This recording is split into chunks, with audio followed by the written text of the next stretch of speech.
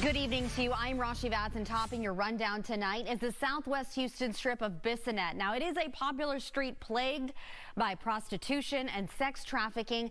Well, Houston police are saying enough is enough. Fox 26's Gabby Hart is joining us live on Bissonnet near Center Parkway with what officers are doing in hopes of cleaning up the area for good. Gabby. Well, I can tell you that HPD is sending a clear message. Uh, no more paying to play on Bissonnet. Uh, they started a new initiative earlier this month. A part of that initiative means they're going to be blocking off side streets here on this intersection that has been known for prostitution. Now, people all over Houston and all over the nation, for that matter, know about prostitution and the sex trafficking that plagues Bissonnet Street on Houston's west side. Now, on May 1st, HPD started an initiative to clean up the area for good, making it safer and more more appealing for people who work and live uh, in this area.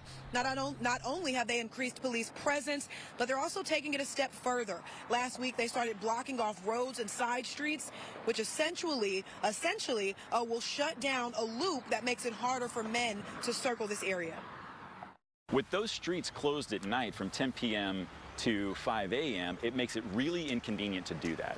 They have to make a much larger loop, which takes a long time to do. They've got to deal with traffic and lights and things like that. Really, it just creates an environment where it's difficult to engage in the type of behavior that we were seeing out here.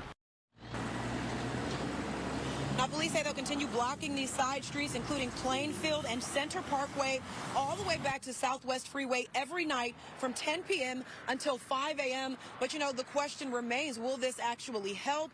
And how do the businesses in this area feel about it? We'll have those answers tonight at 9. We also spoke with a man who works in this area quite often, and uh, we talked to him about what he thinks about these new changes. We'll also bring you that tonight at 9, so make sure you tune back in. For now, I'm live on Bissonnet. Gabby Hart, Fox 26 News.